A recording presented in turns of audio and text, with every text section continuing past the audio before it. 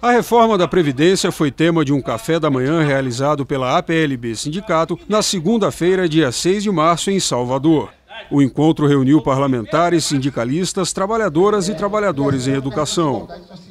Hoje nós estamos realizando esse café da manhã com os deputados federais, a imprensa, né, para que a gente denuncie, para que a gente se posicione em relação a essa é, reforma da Previdência que nós é, consideramos desastrosa pelo fato de retirar os direitos históricos dos trabalhadores. As propostas e as medidas do governo golpista de Temer não são só medidas perversas, elas estão ocorrendo de maneira acelerada para não permitir que o povo brasileiro tome consciência do prejuízo que será causado a toda a população, principalmente a mais pobre. Precisamos pressionar os deputados federais, pressionar os senadores, e o povo não quer essa reforma, o povo não é retirada de direitos, o povo não vai aceitar a essa medida esse governo golpista está tentando estabelecer. A gente tem que se juntar, se unir para ir para as ruas, para fazer essa grande luta, essa grande cruzada, essa grande batalha, para não deixar que a reforma da Previdência e tra trabalhista eh, nos atropele e retire todos os direitos que a classe trabalhadora conquistou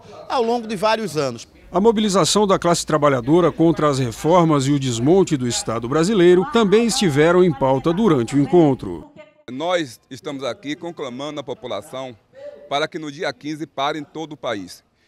Parem, mas não somente para poder ficar em casa, parar para protestar, para pressionar o governo, pressionar os deputados né, que, que, eles, que vocês votaram, para reagir e não aprovar essa proposta de emenda à Constituição, a reforma da Previdência, que vai impedir de milhares e milhares de brasileiros, principalmente as mulheres, se aposentarem. É inadmissível que um governo ilegítimo possa querer impor o seu programa de governo que não foi aprovado pela população.